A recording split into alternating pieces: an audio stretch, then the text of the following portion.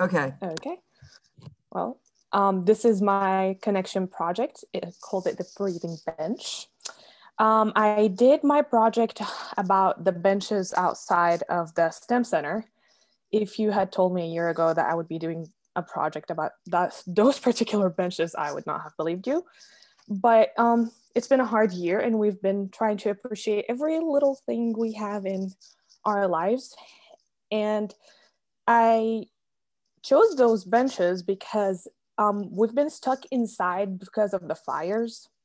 And that was the first day where it was semi okay to breathe outside. And i went to campus and i sat outside had a little breakdown. It hits differently on campus. And it felt good. It felt good being on campus. It felt good being back over there. And it made me a little nostalgic i hated going to cabrillo like seven days a week but then i really miss going to cabrillo seven days a week so it felt appropriate. And Jo-Ann, actually, thank you, Jo-Ann, for helping me choose the bench to do a project on. And um, I, I'm doing my project, my connections. I'm focusing on this, um, on this pin over here and this over there. And called, the connection are a smooth pin and a bracket and a, and a pin, the right, those two, let me zoom in. There's going to be three reactions in the X, uh, actually five reactions in each, the uh, force in the X and the Y and the Z, a moment in the Y and a moment in the X.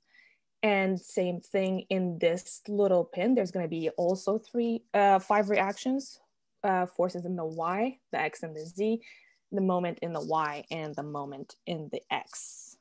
Okay. And Good, that's Imani. it. Yeah, that's it. So again, show your photo, say why you chose it, and then mention what the connections are and what the reactions are. Okay, so Jordan, you're up.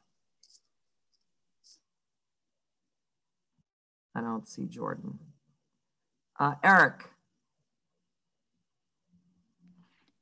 Hi, good morning. Okay, there you are. So share your screen. Okay. So I did mine on my dog. Um, I got him two days before the semester started. So I got him at six weeks old from my sister, who her dog had uh, a litter, and um, wasn't really sure if I, you know, could handle a dog. So I justified getting one from my sister because if it didn't work out, I'd give it back. But that kind of sounds ridiculous now. So yeah, this is him. Um, his name's Bradley he um, he is he has his reactions vary a lot. He's very unstable. Um, he has probably normal forces at his feet and tension at his collar, and um, so he has a Y component from the normal force and an X component from friction, and yeah, and I, Okay. there's my drawing. Wow, nice and, uh, drawing. Wow. Thank you. It took me a long time to do that. Well, not a long time. It just took me a while to figure out how to get it on paper, Yeah. PDF. Yeah, no, that's So- uh, it's good practice. All right. Well, Yeah. thanks, Eric. You're welcome. Okay, Daniel C. Uh, Jo-Ann Jordan will be here in a minute. She didn't see the new Zoom link. Oh, okay. Okay. Thanks for contacting her. Am I still going, or, or are you waiting? Yeah, no, you go. Okay, let me go get my. How do I how do I do this? Oh, me too. And share. Can you So see my Again, show your photo, why you chose it, and then tell us about the connections and the supports. All right, it says I'm sharing a screen. Can you see this? Yeah. Okay. So at the beginning of the year, I got a throat infection, and I went into the doctors, and part of their whole checkup process is that they have to take your measurements and they weigh you. And I found out I weighed around like 220. And one of my goals for the year was to lose weight, um, primarily body, uh, visceral body fat. And uh, because of the COVID, my local gym actually closed for most of the year. And so I was left uh, without a gym to work out at. And thanks to my dad, who is a complete health nut, uh, and he, we worked out a new physical workout plan where we would um, like work out every single day, run up to UCSC, do weights every single day. I would work out at least an hour and a half a day. Uh, we also changed our diets. If I scroll up here, uh, one of the things that we eat is that he got fascinated by pumpkin brownies, and it's just brownies made out of pure pumpkin puree. On the bottom left, I have this uh, new ice cream thing, which is primarily just xanthan gum and fruit and protein powder. And so that's pretty much just been my entire year, just working out every day. And that's why I chose the pull up bar, which is one of the devices that I used um, basically to work out when my gym was closed. And so each the reactions are at the uh, pin joints over here and they're completely fixed. So we have moments in the X, Y, and Z. We also have uh, reactions in the X, Y, and Z as well. And it only happens at those four points. And it takes a load um, at the bar point here and where the hand grips are. And at the hand grips part as well, there's uh, two uh, forces applied. There's a normal force from the wall, from the door frame, and from my grip as well. And that's why I chose the pull-up bar. Okay, thanks, Daniel. Welcome. Okay, Jo-Ann, Peter? why are we not showing the drawings that show the reactions? Because we only have two minutes, and I think the we're going to be able to understand more from a photo than the drawings that you did. And Mhm. I'll get to look at the drawings at some point Mhm. when I go through the grading. But right now, to go through it, I think the photos are help, more helpful. Okay, Peter. Okay, sure. Oh, and Jordan, we'll have you go next.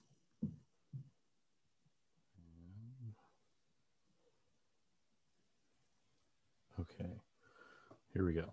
Um, so what I chose, uh, I chose my driver for my golf bag. Um, been going, uh, me and my dad go golfing all the time. He took me to the driving range for the first time when I was three, uh, and I had a Ping driver. It was an adult club that he took and cut down so it would fit me, and um, it's just it's kind of been our thing growing up. Has always been sports, um, but golf has been consistent since I was a little kid up until now. He comes to all my tournaments. Um, I did a lot of work in the golf industry, and it's made me a lot of great friends and great connections in the world. Um, so, in terms of the club having physical connections, there's that, but it's also made me some connections in my life as well. Um, so, in the second picture here, you can see the hosel. Uh, right, I don't know if you can see my mic, uh, my mouse hovering. Yes, here. we can. Okay, Yes. great. So there's a this is a f- fixed support here, so it has reaction reaction forces in the x, y, and z, and then also moment reactions in the x, y, and z as well. And then on the fourth picture here, there is a weight in the back, which is as you know, technology has advanced. They've started messing with weight uh, weight distribution so that everyone can kind of get a fit to that matches their swing. Um, so there is the center point here, and then there's another hole on this end at the end of the slot, and then one on th- this end as well. And so that's a pin connection, and how you change it between the three points is you have a tool. And if you look at my camera here, you can see this tool. If you take the tool, you unscrew the pin and then you play you basically slide the weight into the other spot and then you screw the pin back in and so then that has the um, force in the x and y as well as the moment Thanks, Peter. Yeah. Okay, Jordan.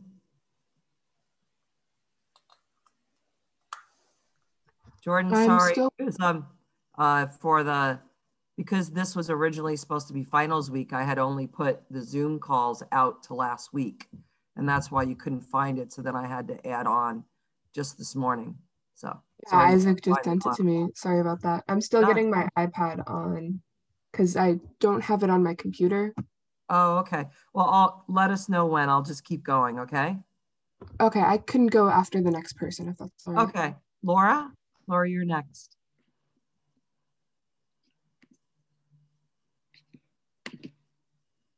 Okay, good morning. So I chose um, a soccer goal, which I titled The Goal of Soccer. And I chose it because um, I've been playing soccer since high school, and due to the pandemic, we everything is closed, so we're not allowed to play. But not only do I play, um, I also coach soccer. So I'm actually at this field probably uh, two to three times a week uh, after work or school. I come here and I coach girls. I volunteer, and so that's why I chose it. I kind of miss it a lot. Um, some of my some of the things that I've done is uh, I started off coaching when I came back. I coached here at Watsonville High School, and I've also played for Cabrillo and I played at the university level. But besides that, the first soccer team that I had of a group of girls, we've been friends for, I mean, we're still friends up to now. Some of them have become um, family. One of them married my cousin, so she's like my sister in law. And we just all get together and we have a big soccer team called the Family, and we do a lot of things together. We go to tournaments, and it's just a lot of fun, and it's all the family. So it's like we've grown up together throughout the years. So that's why I picked it. Um, here's a stock photo that I found because I couldn't, you couldn't really see it in the other picture and the high school's locked, so I couldn't go take a picture of it. But you, you have the reactions here at the wheels, which is used to prop up the goal in order to easily move it around the field. And so the only movement it has is uh, front, like in this direction. So um, you have a reaction in the A, Y, and Z direction you don't have to show moments. your drawing. Laura, you don't have to show your drawing because no one else is. So you did the um the goal post or the goal, the goal, I guess, right? Yeah. Yes. Okay, cool. Specific All right, thank you, Laura. Okay. Jordan, are you ready? Yeah, I'm ready. Okay, you could go.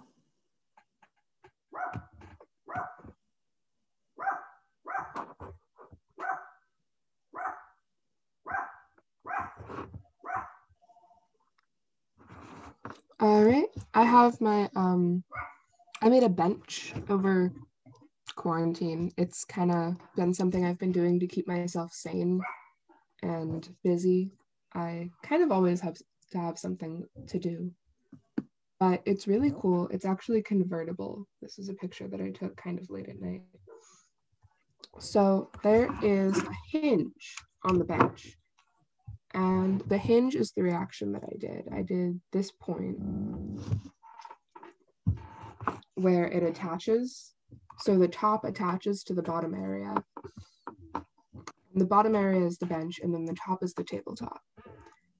And I kind of had to improvise a little bit on a few things, but I found a really cool design and I got really into it and I learned a lot. I managed to get help from a friend who like lent me some extra tools and everything. And I finally have an outdoor study space. The hinge right here has reactions in the X, Y, and Z, but doesn't have the moment around what I put in my diagram as my Z axis. Okay. Thanks, Jordan. Very clever design. I love yes, that. Yes, really neat. Thank you. Okay, Luis. Uh, hey, Jo-Ann. Yeah. Um, so mine was kind of similar to Laura's, to be honest. Um, I also okay. did the post. Um, mine was a little different though. So yeah. Let me show you. Um, same thing. I mean, it's just one of those things where you kind of get together with friends and family, and it's really hard and right now that you can't really do that. So um, I did a goalpost as well. I did a tension back here. Um, same thing, the reactions right there at the wheels. Um, and then sometimes I have pins up top as well. Um, that was kind of my goal. I mean, I grew up playing soccer um, as well as for the schools and stuff. So uh, yeah, it's just different times right now. Um, I did I did that one, but there's also like the little one for the little kids. So same thing. I also coached and stuff, so uh, that's something that you miss for sure. Um, yeah, I mean, Laura kind of summarized it, which was pretty yeah. funny. Um, okay. That was that was like a perfect seg- segue onto mine as well. Yeah. Okay. Thank you, Luis. So, Okay, Victoria. welcome. Yes. Okay, there you are.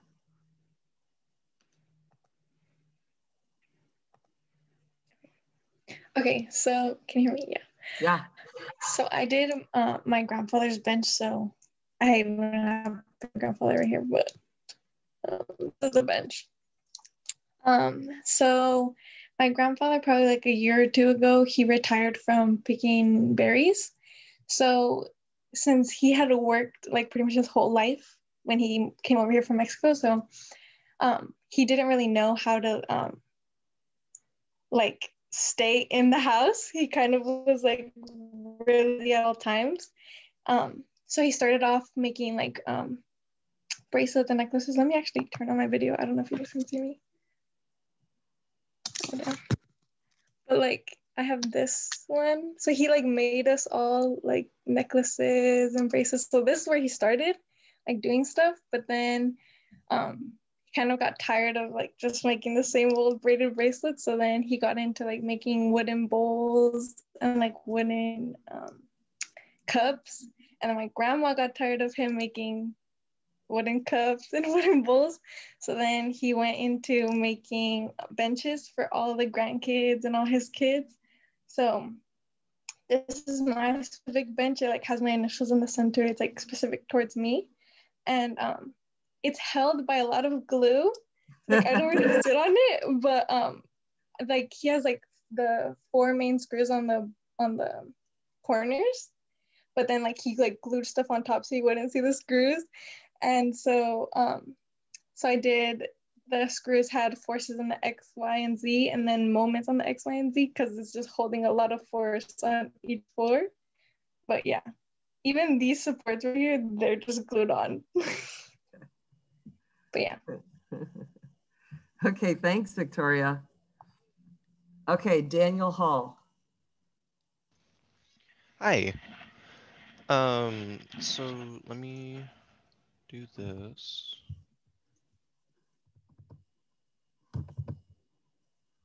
Okay, so my project is on um, the shelf uh, right in front of my desk. It holds up my two monitors. Um, the reason I picked this shelf is just that, you know, it's it's actually had a lot of meaning to me. I built it like with my dad and um, there's not a whole lot of things that we get to do together. Um, but as well as my computer setup, it's just usually where I'm at for the most part. Um, so my shelf is what I picked. It has two fixed supports right under it. Um, and so with that, and gotta represent the wise, um, but it holds up my two monitors. Um, Wow, they're And- huge monitors. yeah. um, Wow. so with there being two connections, uh, each each at the fixed supports, it has moments in all three directions as well as um, forces acting on them in all three directions. And then oh, but that's not that part. But um, yeah, so this shelf was just something that I was able to build with my dad, and um, we were able to set it up together. I just had a lot of issues with desk space, as you can see with the monitor size, but um, so once we were able to do that um, and get through that that situation, then um, his shelves really had a lot of meaning to me. Okay, thank you, Daniel. Yeah.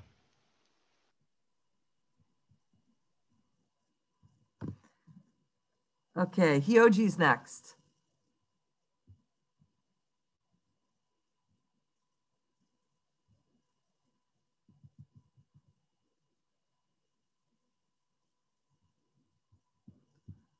Okay. All right, Jack. Hello. Hello.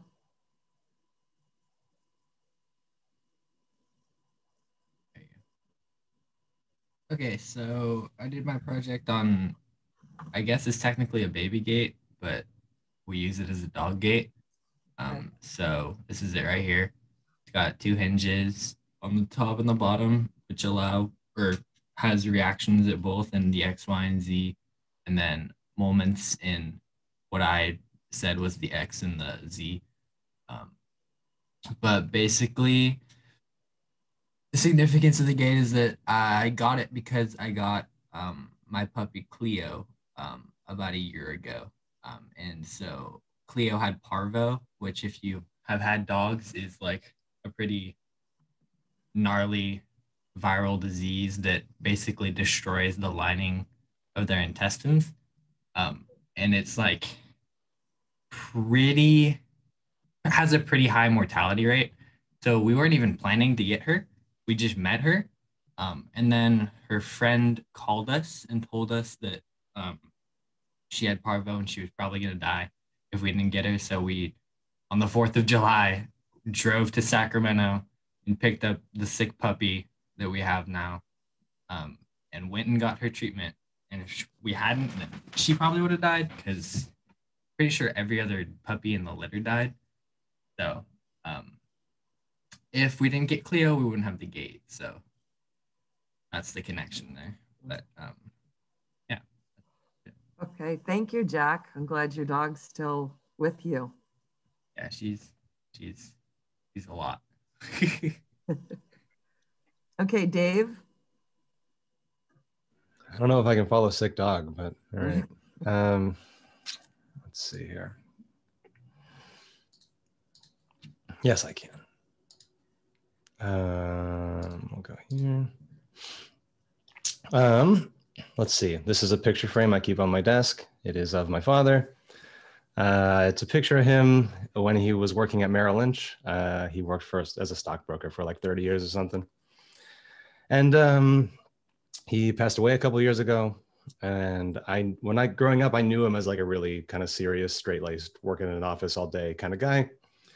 But after after he passed, I heard all these stories about him being a goofball at the office, and so I, I have this picture to to kind of remind me of both sides of him. That he was actually kind of a fun guy, and he was a character. And I hear about all these wacky things he did at parties and stuff. So it's kind of kind of nice to to hear that. So the picture is a convincing cutout of Elvira. I guess he took that during Halloween in his office, and it was something that he did. Uh, he he would like celebrate all the big holidays in his office with all kinds of decorations and stuff. So I keep the picture to to remind me. Um, on the back, there's a hinge. Um, it is a just a regular hinge right there. So it has, uh, let's see, three of the uh, linear force reactions and two of the uh, moment reactions. And um, yeah, and then it would have a weight down, normal up. There you go. And I keep it, you can see it on my camera. It's right up there. I keep a little uh, kind of shrine to him like an ofrenda with some objects of his and uh, a picture and stuff above my desk. Nice, Dave. There you go. Yeah, thanks. Thank you Mhm. for sharing. Okay, Jason. Jason who? Jason Uh, Jason me. okay. All right, let's do this. Yeah, it's funny. You guys are alphabetized by both first name and last name. Jason Lee and Jason Lavoy. Yeah, I was kind of wondering Oh. about that. All right. Um, so y'all can hear me? Yeah. Great. So this is my project. I um, wanted to um, help out my housemates. You know, we've always been looking for a place to uh, hang out. And I mean that literally just, you know, people wanting to be able to stretch and sort of play on a, um, on a on a bar someplace to hang from is actually kind of hard to come by in houses unless you make an explicit point of of creating it. So I uh, we picked a location and I designed this bracket that would um, be able to support a bar uh, on an outside beam underneath the an awning, sort of a porch. And I it was one of the first sort of practical projects of of um, my new welder. So I was excited about that and just an opportunity to, and it just went remarkably quickly. I was just like from design to uh, installation, it was like turnaround of like several hours. Um, so I was really excited about how I was like, wow, that's fucking power. And oops, pardon me. And here's, oh, um, here is the uh, installed um, here's the installed uh, bracket and you can see the bar and you can see the um, there is a screw it's a safety screw honestly the uh, you know you kind of look at this and the um, the reactions. This is actually a better picture to, to look at forces. So we, um, I see it as a normal force in the Y, um, or you know, normal force in this direction, normal force in this direction, um, and a normal force in this direction. So if you think about the load pathways, if the weight is here of the bar, then it transfers through here in tension this member is in tension and then this sort of hooks on the back of the bar like you know you would do with your fingers if you were trying to hold on to it yourself this of course is in compression so this part of it um, to me uh, has is all two force members and then this one um, resists the moment of the whole structure pivoting about this point um, so that is um, that's what we end up with here and I did put that safety screw in there. It's really not taking much of a shear at all. It's really designed not to take any force there, but it's a in case you push up on the bar and dislodge the hook in the back. I wanted to make sure that that condition was impossible. There you go. Thank you. Thank you. Thanks for sharing. Okay, Jason Lee. Yes. Uh, let me make sure that I'm there.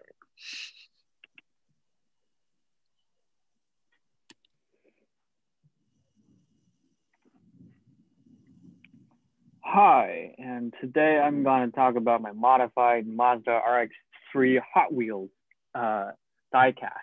it's pretty cool. Um, I first decided to write about this because this is my um, beginning of my Hot Wheel collection. I got addicted after buying this special um, car model because this is like one in the world that a person actually made it by hand. Like if you can see the picture, this car actually has a carbon fiber hood and wide body kit and um, the rims are off market. Um, if you look closer, you can actually see the disc brake inside of the wheels. And I gonna turn on my video um, video so I can show you guys there are roll cage um, at the back of the car. And how do I turn on my video? Like, if you guys can see that, there's our there are roll cage inside the back of a car, Uh-huh. and then the interior are detailed, but I don't know if you guys, Yeah. guys can see the color. Yeah. So this car is very special to me, and there are um, four rollers considering the wheels, and that's the only force I can think about besides the weight. So there are four normals supporting the little car. And thank you. Okay, thanks, Jason. Okay, David.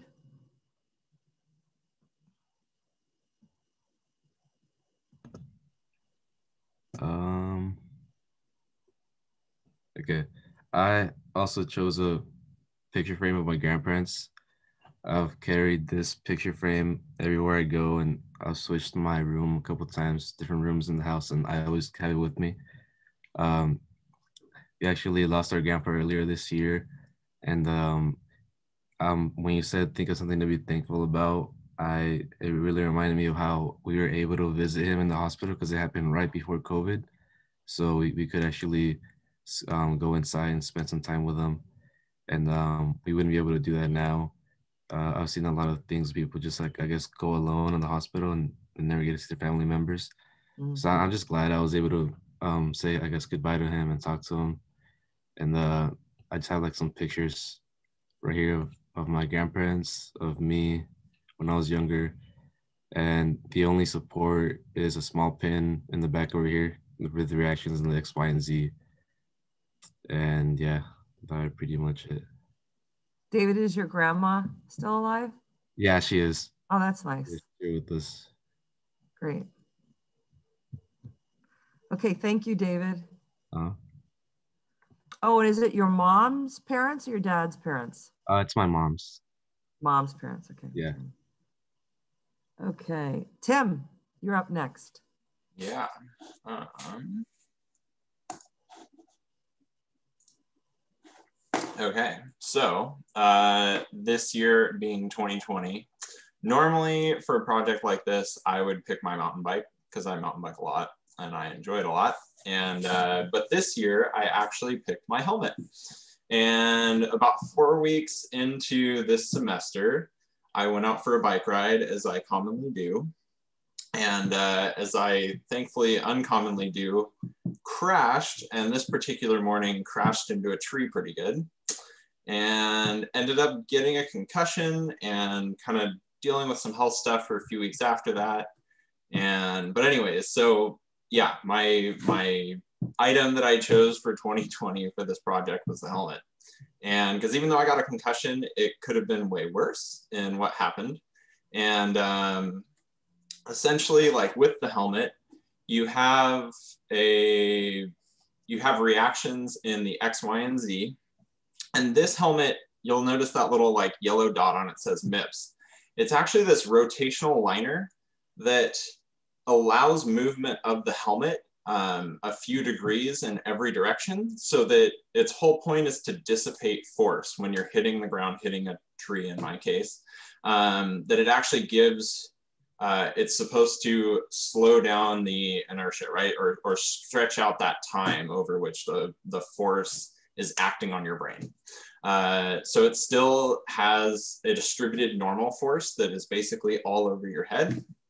And, and then the chin strap keeps it from being able to uh, be pulled off in the Z as well. And that is my object. Thanks. Yeah. Tim, you know that there's a company in Scotts Valley that makes helmets for sports, right? Yes, Bell Giro. Yeah, okay. Yeah. Okay, thank you. All right, Myra, your turn.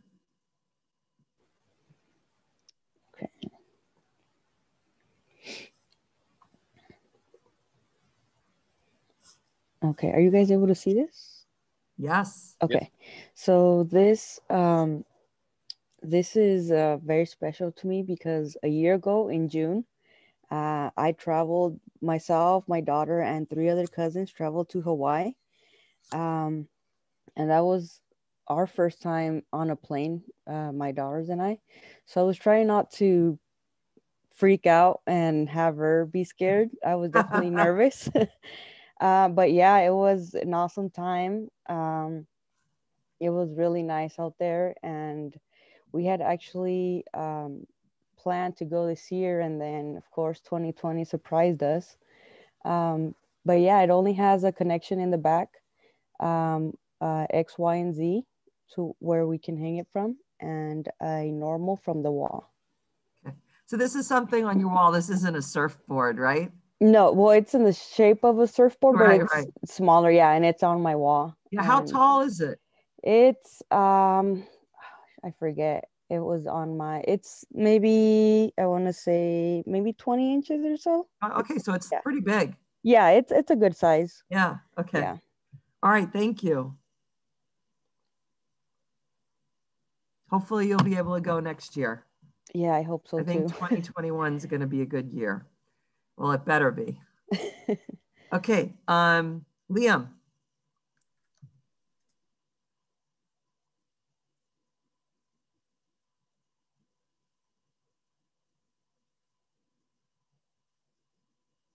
So we can't hear you, Liam. You're still on muted.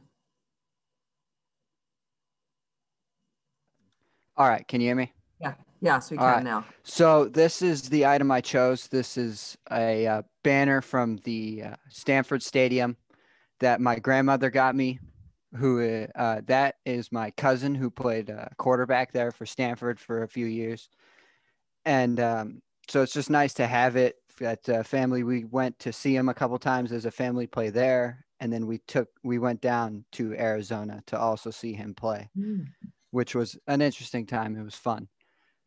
Uh, and so there's only just one reaction at the top with a wooden dowel to hang it, which acts as a journal bearing. So you've got reactions in the Y and the Z direction towards you and moments about both those two axes. So it's connected on the wall on both ends of the dowel. Is that right? Yeah. Yes. Okay, great. Well, thanks, Liam. Okay, Marcine's next. Hi, um, I did, let me share my screen and I actually have something. I did my project on my cat tree. Here she is. um, I don't know if you guys have heard her whining during class sometimes, but yeah, it's she cries a lot. But she's been really important to me during this quarantine because um, I had recently, well, it's been a bit now, but I had lost a cat that has been that has grown up with me my entire life, and we've been waiting for a long time to get another cat because it just didn't feel right. But then, like an opportunity arose, and a family friend was giving away a cat, and she looks just like my previous cat, so it's kind of crazy and nostalgic.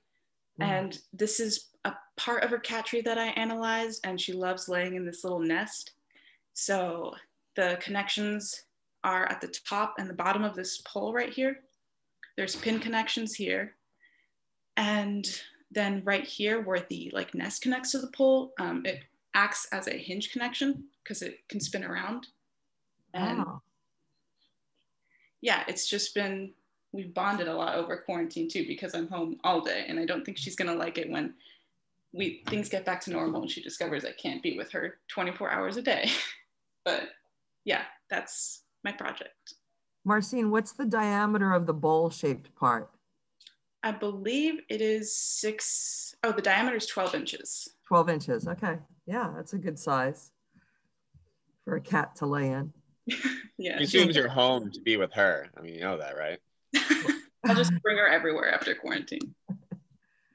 We could set it up in room 810. okay, thanks, Marcine. Mm-hmm. Okay, Edgar, you're on. Yes, yes, yes, yes. One second. Um, there it is.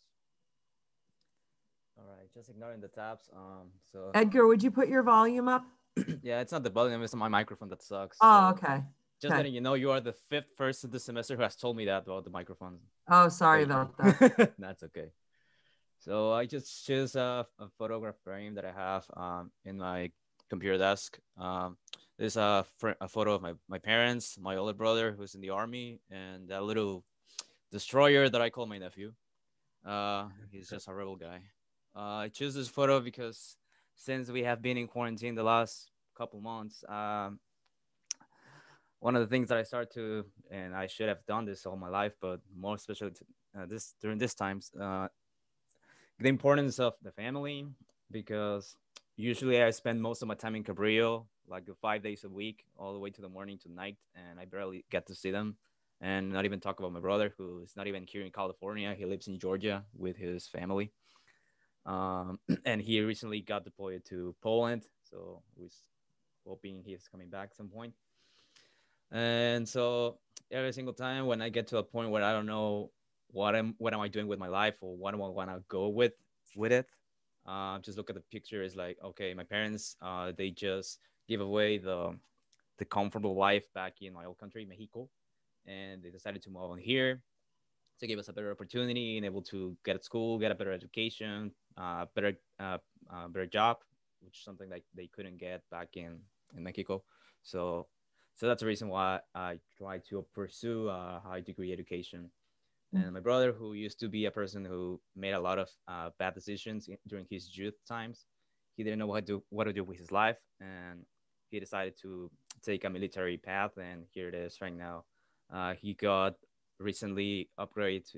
He got ranked up to a sergeant, and he now he's super happy with his life. And he realized that there's it's never late to make changes in your life and be happy with your decisions. So that's a picture. And the reactions I have at the back, there is a hinge. So it's not uh, it's not a, on the wall, but it's on the table. So there is a distributed normal force along the the front side of the of the frame, and also there is the small like on the back side. There's another, another normal, and there's a weight component because this is a glass, and glass is kind of pretty heavy.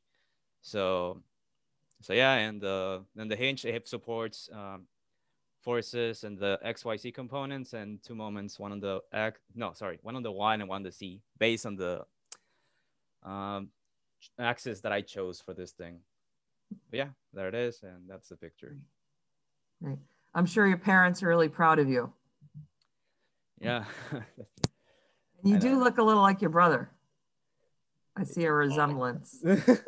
I literally thought you just got ripped over the semester, and I was just like, no, I actually grew, but from the That wasn't you? from the sides. no, dude. I wish. Okay, thanks, Edgar. Okay, Tony, you're up. Probably earlier than you thought. Huh? Yeah, a little bit. Um, so let's just go ahead and jump right into it. Yeah. Okay. All right. So mine is nowhere near as wholesome as some of the other ones, but I mean, this is this is what I got. This is what I got. so I decided to do my project on uh, my glasses. Now, normally, as anybody with some sense would uh, would try to do, they try to get your glasses uh, diamond encrusted, as you will. But I'm a little low on sense and a little lower on cash, so I went with a more moderate appearance of these uh, these brown frames. Um, so let's talk about the uh, let's talk about the uh, the reason why I chose this, I guess. Um, so I, I pretty much, I guess my my vision is something that I kind of underappreciate, and so this is kind of just like a testament to to basically that, you know, like uh, I I don't really appreciate my uh, my vision as much as I should. So I thought I may as well, hey, just do something that I carry around with me all the time. So let's talk about the uh, reactions from there. So it's not immediately apparent, but um, this is the reactions are actually kind of symmetrical about the uh, the bridge of the nose. So you have the same reactions on the left hand side as you would on the right hand side. You got the reactions at the pins right here, and so on those rubber pads, it's actually uh, not immediately apparent, but it's a uh, ball and socket joint. So the um, the pads can rest easily on your nose, and then also right here, there's um, it's not immediately apparent, but this is like a pin that that's used to keep the lenses in place. And then so it doesn't allow for any reactions in the uh, in the uh, or excuse me, it doesn't allow for any moments about the X, Y, or Z. Or, but it does have reactions in the X, Y, or Z so that the uh, so it keeps the lenses in place. And then of course there's this one that allows for the hinges about the uh, it's it's like a hinge thing that allows for I guess a moment about the Z so that the uh, I don't know, what would you call them? The, the frames can like wrap around your, uh, I don't know, go over your ears. so yeah, that's uh, that's pretty much total of total of six reactions, and then like I said, it's symmetrical about that bridge of the nose. So it's just those three. It's the same thing on the other side. So that just pretty much covers it. Okay, thanks, Tony. Yeah. Okay, Angel. Right. Good morning. Good morning.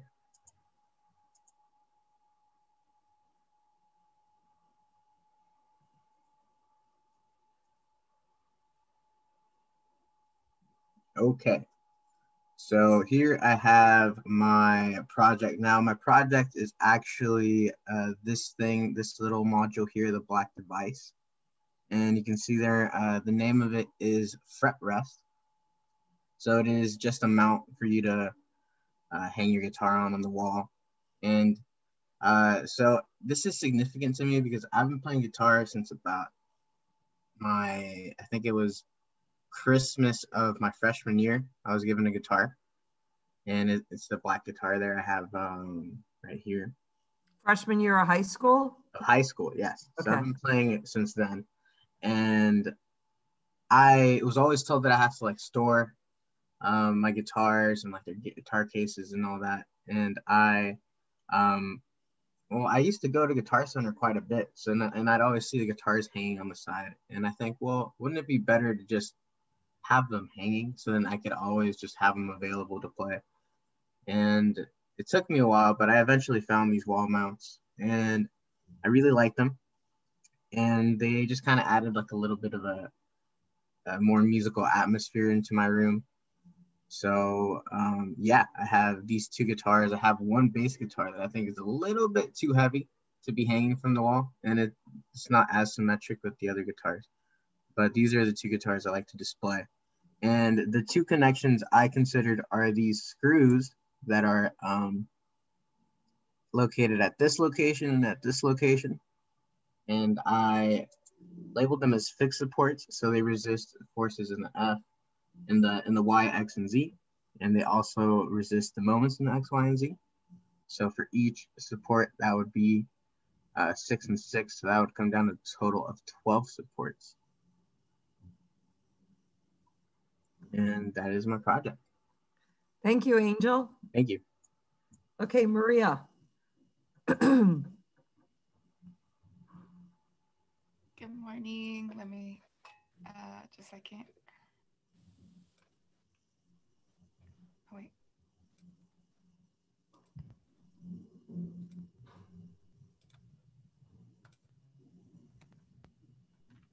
All right, so this is my project. Um, I called it Raft Frame Connections and Significance. This is me in my happy place on my raft in in the canyon. This is the Green River in Colorado. Um, so I cho- chose to do my project on this raft frame of this raft because I've been rafting ever since I was five, almost every summer, at least one or two multi-day trips in the summer. Um, I learned how to raft from my uncles and who started rafting like in the 70s. And this is just a picture of my, all my uncles and my dad and my sister. And they gave my sister her first, her frame for her boat when she graduated from high school. Um, and I got my first raft when I was 18. This is my raft. Uh, her name is Rainbow Baby. and uh, I'll explain the connection. So I chose to focus on like if I were to take these center two bars out in the seat, then this would just be a frame. And so these connections of these center bars on the outer frame are a smooth, um, a smooth collar on, or a collar on a smooth shaft. And so the reactions that happen are two reaction, two force reactions and two moment reactions. Um, the way I drew it was like forces in the X and Z and moments in the X and Z. And then two normal forces where the seat of the raft goes down on the back of the frame. And the frame is important because without the frame, the boat is just basically a paddle boat. And the frame is what allows you, you put the oars in these two oar locks right here, and it's what allows you to row the boat. And it's also what you strap all of your gear to. So right here, this is a light load. You can kind of see in, in this picture, you usually put like the gear behind you on the raft. And so raft trips, basically you spend like a few days on the river with all of your gear going down the river, going through rapids, and then at night you camp along the side of the river and you have everything with you that you need and you're in the middle of nowhere and you're disconnected from society for a couple of days. And it's the best feeling in the world. and so yeah, that's why I chose it for my project. Thank you very much. Thank you, Maria. Awesome. Okay, Colin. Um,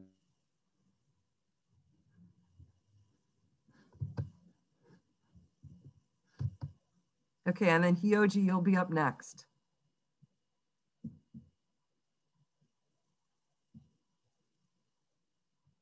Colin, you're muted. Oh, there. Okay, good. Okay. Um, so I did mine on a desk that has been in my family for a very long time. Can you share your screen, Colin? Oh, am I not doing that? Sorry. No, I don't see Oh, it. I forgot to click share. Okay. Okay. Um, Thank you. yeah. So it's this desk. Uh, Hang on, we don't see it yet. Okay, um, we still don't see the photo, but we see my family desk. Okay. Sorry, that's making my computer like freak out. I- Yeah, it's okay. Just scan it up. Okay, great. Thanks. Okay. So it's this desk. Um, I used it in my room from like age six to a couple years ago when I moved into a smaller room where it didn't fit. Um, but yeah, it's been in my family since my great uncle graduated from MIT in like the 60s to become an aeronautical engineer. And so using this desk is probably like one of the main things that made me want to be an engineer when I was younger because I don't know, I could just like imagine being a scientist there and it just felt so cool to like have a desk to work on. Um, and yeah, I, I like how old it is and how much like family history it has. Um, and the connections I looked at specifically are the hinges that support the front flap. Um, the reactions there are forces in the X, Y, and Z, and then moments about the X and the Y, but it, it rotates on the Z axis. So. Great. Thank you, Colin. Yeah, I really never realized what a double entendre the connections project is. It's Yeah, well done. I know. That's great.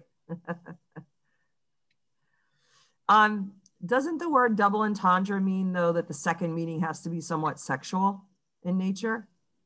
I don't I didn't think so. I could be wrong. Anyone?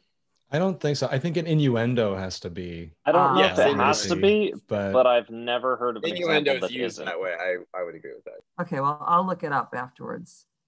I remember um, in high school, and I went to all girls Catholic high school, and I remember the like one of the really smart girls said some said some comment in English class, and it was definitely sexual in nature, and the and the nun commented on it being a double entendre. Anyway, that was my memory, but I'll look it up to find out. Okay, uh, Hyoji, you're on.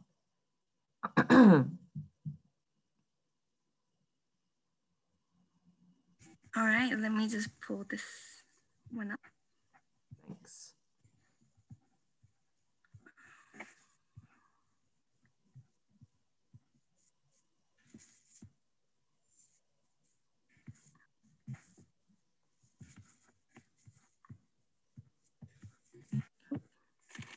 Do you need a little time? Uh, yes, please. Yes, okay. So Matthew, you're on next. And then Hyoji, you'll be after Matthew. All right. Let me get this share screen. Ah, so I was correct. Double entendre. Daniel just looked it up. A word or phrase open to two interpretations, one usually risque. Okay, Matthew. Great. Well, after that, um, I did um, mine on a Christmas tree and the various uh, rel- religious um, symbols behind Christmas and specifically the Christmas trees. Um, and for the whole statics portion of it, I did mine on the Christmas tree stand or the base um, that I have. And here's what it looks like. And um, just, I guess I'll go into the statics first. That this um, this base, um, you know, just supports the weight of the tree. It's got a couple screws that hold the tree in place as it just rests there.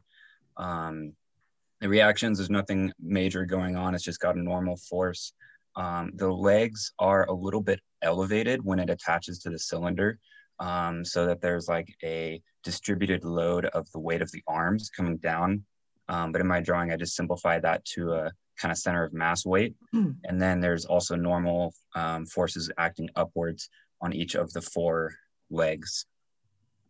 Um, and kind of the Christmas tree, the reason I did this Christmas tree um, was just the kind of the, the meaning of Christmas. And uh, I actually did some research on it, and history.com has like a really in depth uh, analysis of, of Christmas and all these things as symbolism.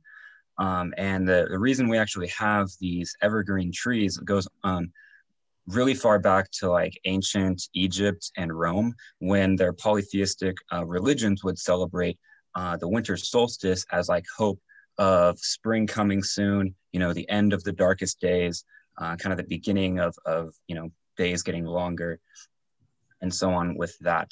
And um, then after um, like Christianity started uh, um, kind of exploring out of uh, Israel. Eventually, these um, like these Romans who were practicing this wanted some kind of connection to celebrate like Jesus, and we never really knew exactly which day Jesus was born in.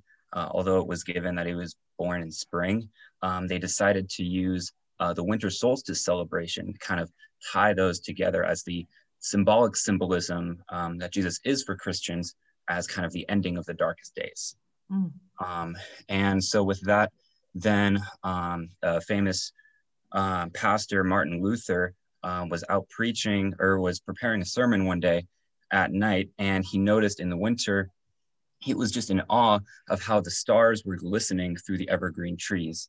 And so then he went home and put a bunch of candles around his Christmas tree as a way um, to kind of re- represent that kind of that just how beautiful that looked and so that is how today we um, we put lights around our Christmas tree to kind of resemble the stars glistening through evergreens uh, in a hope that the uh, darkest days are now behind us. Hey, Matthew, how long are the stands, the legs of the stand? Um, well, I know the total length uh, is just shy of like 60 inches. Okay. Um, it's pretty big. It's for a, like a massive tree. What typically Yeah. size tree do you get? Uh, my family, as you can kind of tell right here, we, we have this one room that's got a pretty tall roof. Uh, and so we try to get trees that are like somewhere between like 12 and like 14 feet. tall. Wow. Okay. Wow. Yeah. okay. Well, thanks, Matthew. Thanks for the history lesson. Okay. Um, Hyoji, you ready? Yes. Um,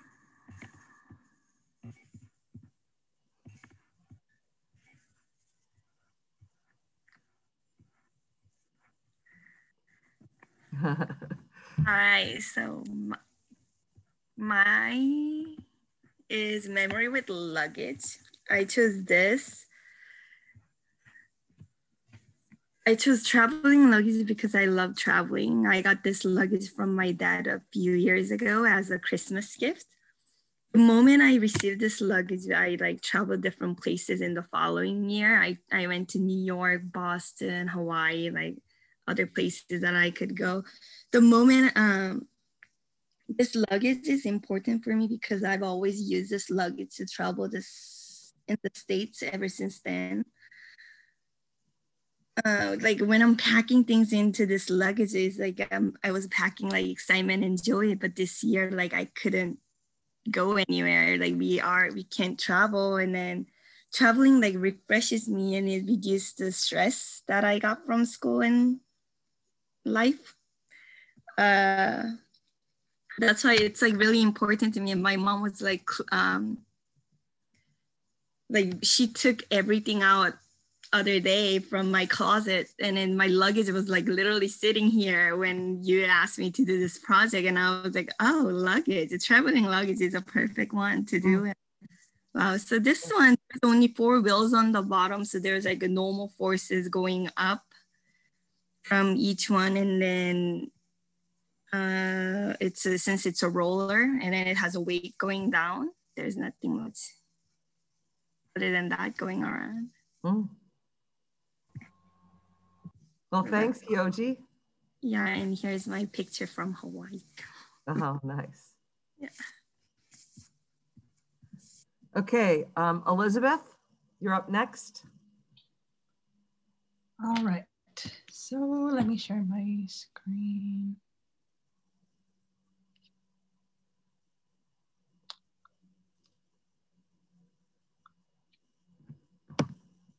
Can you guys see that?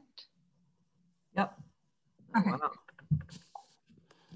Um, so I picked this little box that uh, my dad made me a long time ago um, when I was small. Well, I'm, I love the beach. I always have. So we would go all the time. We would bike ride like every weekend, and I would be there for ever. Um, just and then I would end up picking some shells. And uh, so he made this little gift for me, and inside is also like little cute, like things my nieces have made for me and stuff. So I just keep them in there. Um, they have there's two connections right here. Um, can't see them, but yeah. So there's a connection. There's a reaction in the a x y and z, and then a moment in the y and z. Um, so yeah, that's pretty much it. Also, this was when I was little and I didn't know it was um, unethical and harmful to our environment. So please forgive little Liz.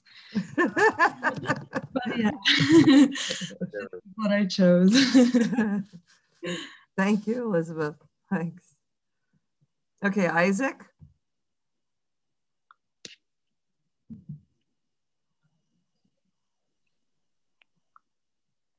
All right. Um, I chose, coming up in one second. Uh, I chose a luggage rack on, this was my second slash third motorcycle. And I say that because my second, third bike were the same bike. Um, this was, uh, I chose this because um, motorcycling is what got me out here. Uh, when I was 20, I got my license and I had, I had gone to school for a year and just decided that I didn't really have a good reason to be in school at the time. And, uh, and so I ended up getting my motorcycle license, saving some money, and then riding from Vermont to Florida to see my grandmother, back to Vermont, and then across the country. That ended up being the last time I saw her as well, because um, she died a year later. Um, but yeah, motorcycling is what got me here, and it's also uh, what led me in the direction of uh, mechanical engineering.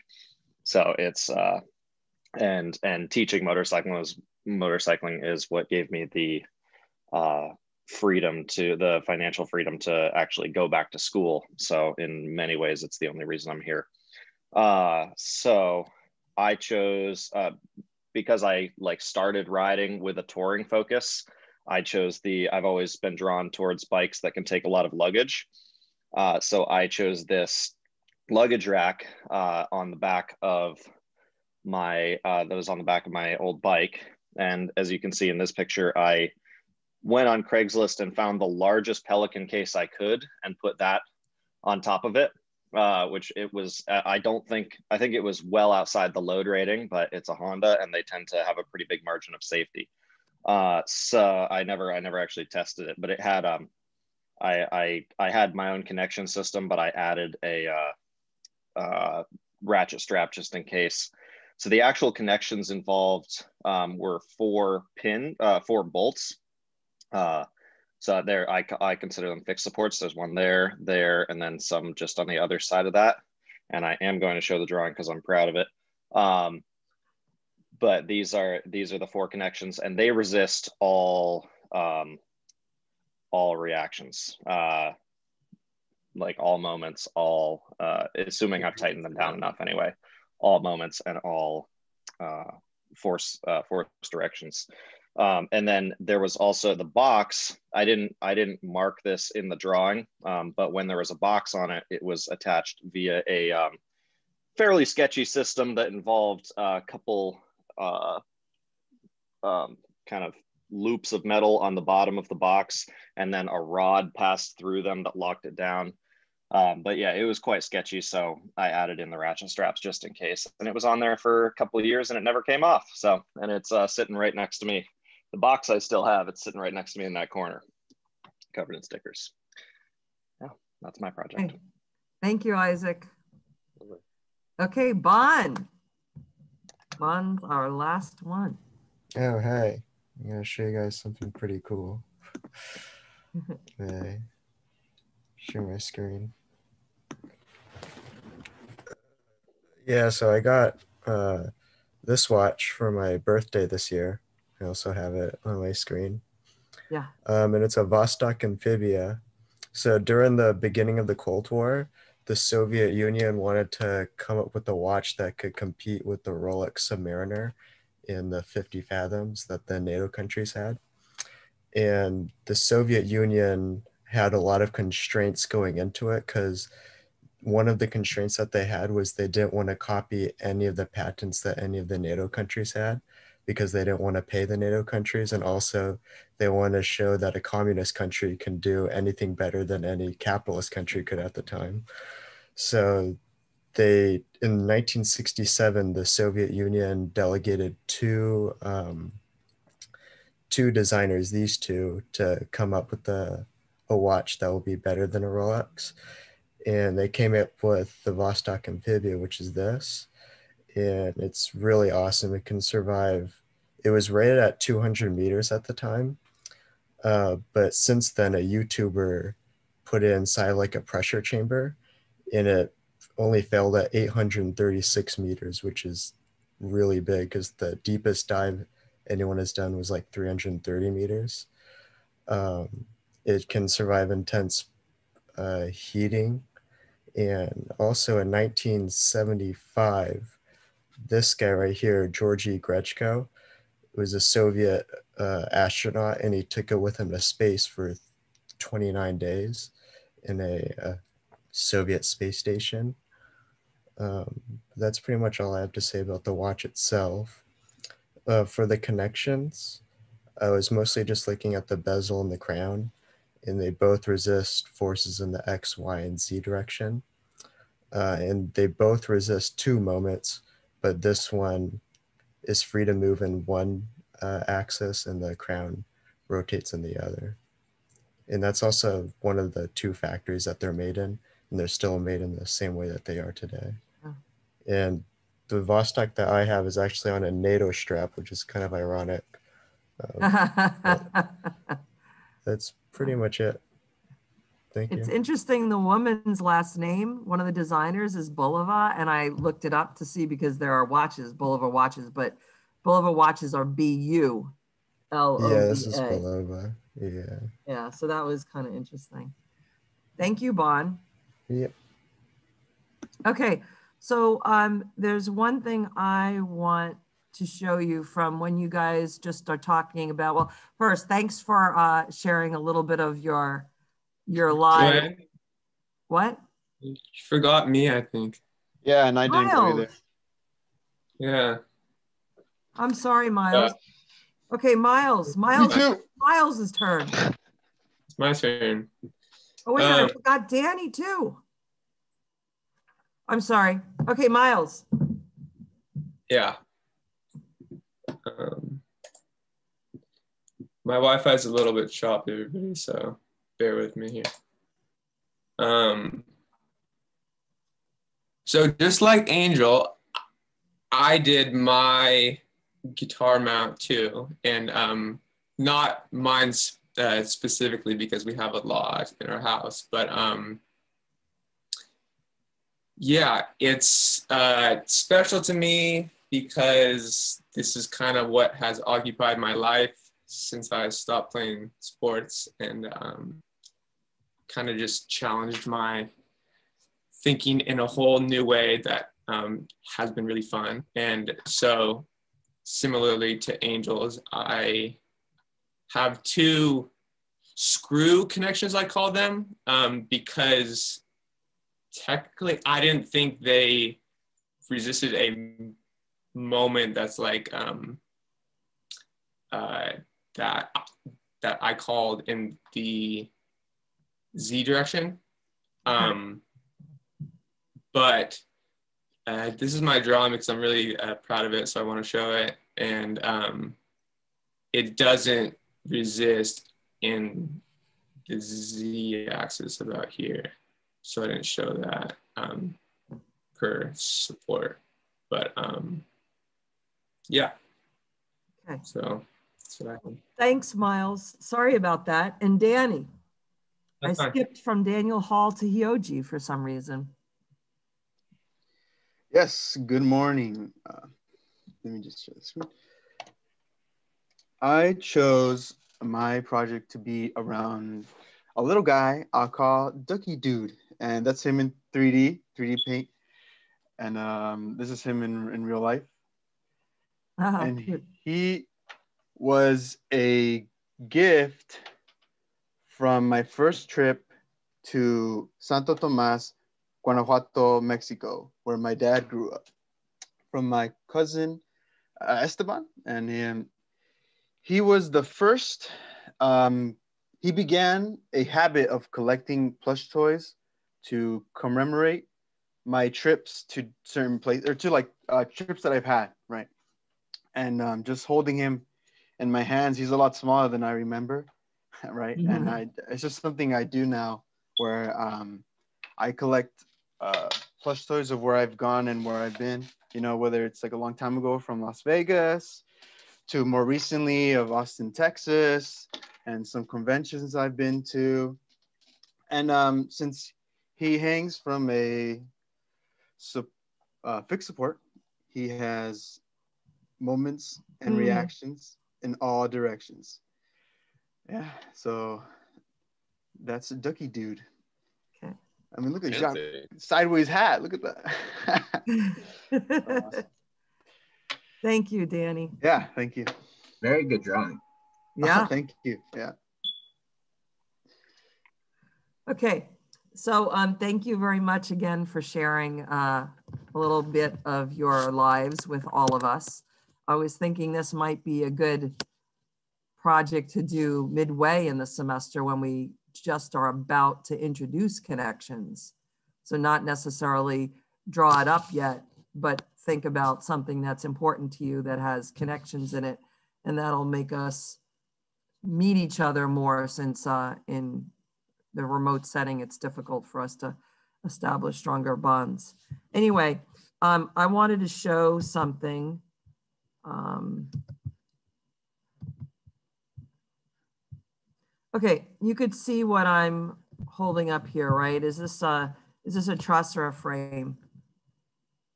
Frame. It's a frame. Um, does it have a two force member? Yep.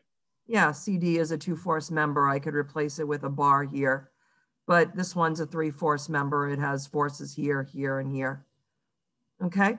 So what I wanted to point out is as a whole structure, because I saw a common, um, a common thread in some of the, the, the reactions at the supports that you mentioned in your project.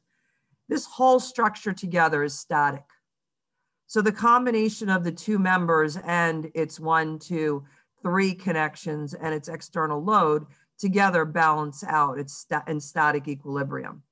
But when we look at finding out the reactions at each support, we are indeed looking at each support.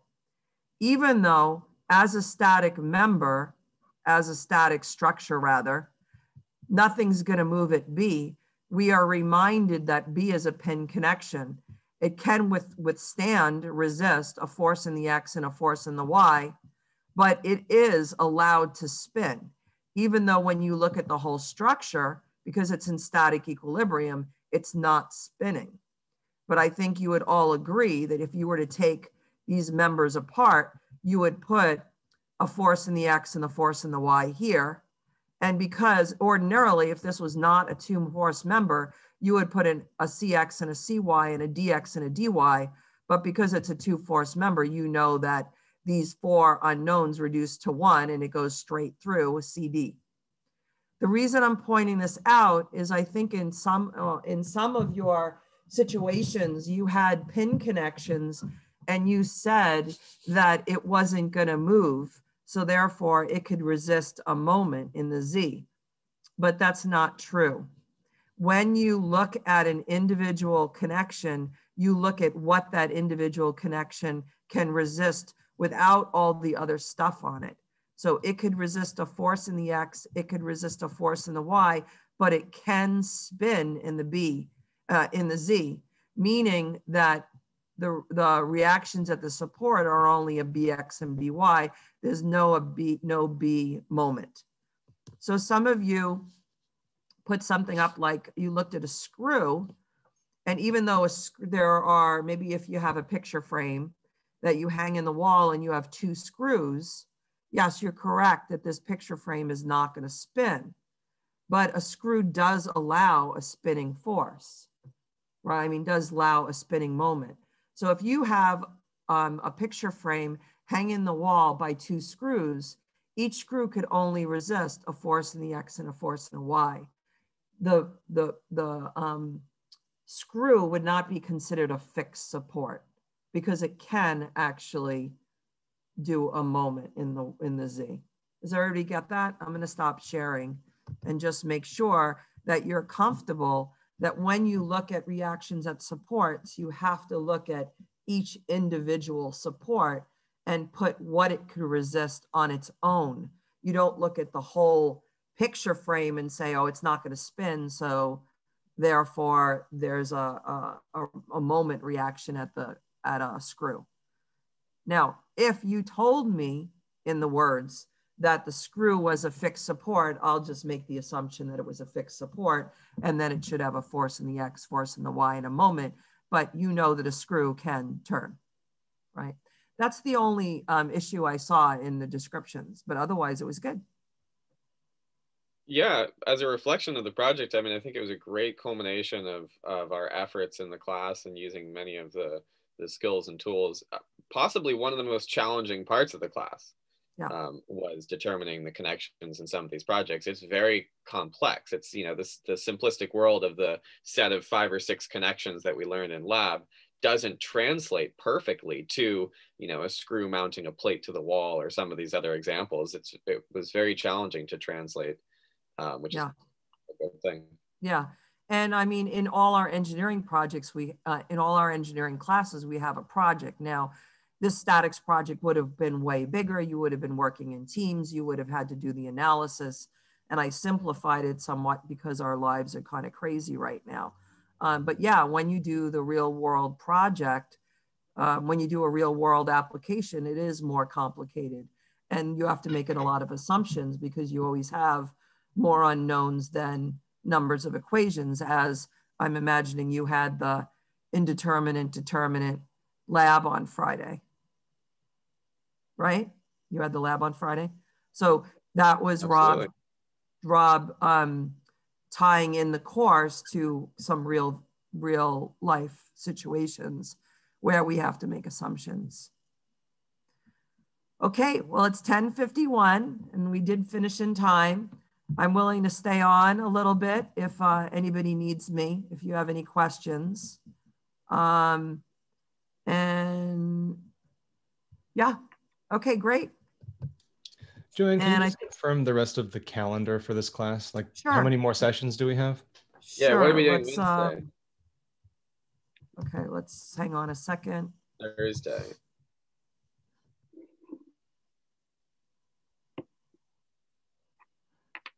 Because our final is way out. It's like the end of next week, right? Yeah, yeah, hang on a second. Okay, I'm going to share my screen in the middle minute. When I was a student, I really hated when teachers taught up to the day of the final. I remembered having teachers teach something the last day of class, and then the material was going to be on the final a few days away, and I just thought that was so unfair, just because of just because they weren't organized enough to get it together. So I didn't really appreciate that. So I always make sure that I end earlier. Um, however, this semester I did end way earlier because Carl, Rob, and I decided not to teach one of the topics, which it'll be covered in strength of material. So we ended an extra week earlier. So let's take a look at the schedule. What's the Hmm. topic?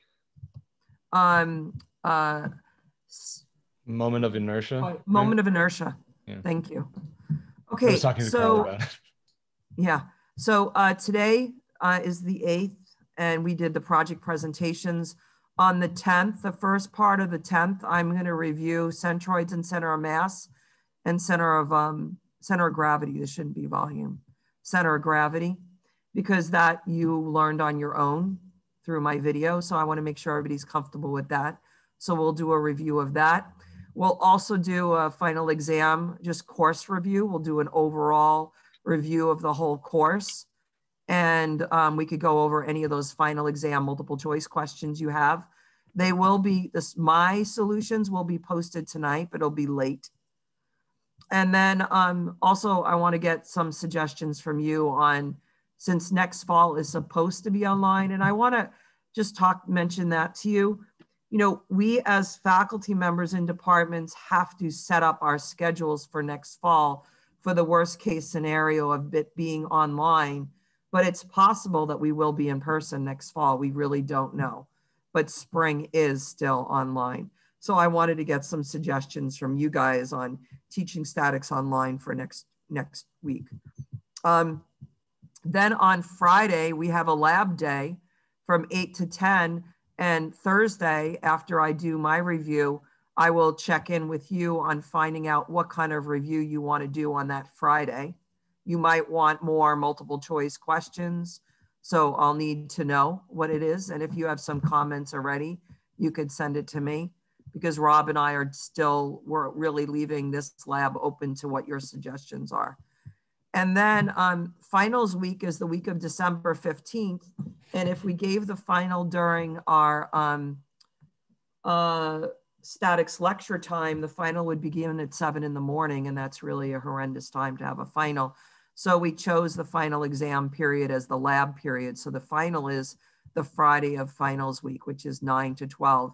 But Rob, are still, Rob and I are still in, um, are thinking about making it asynchronous. We haven't decided for sure whether you want to do it at your own leisure or then, um, but we still have to decide. And it right now it's set up for that Friday. Okay, let me stop sharing and see if I need to field any questions. But those of you who want to go can can leave now. Okay, I and think what that I'll- covered what I was asking. So thanks. Okay. Hmm. I'll stop recording now. So if you have any questions and Gerard, uh, Gerardo, stay on.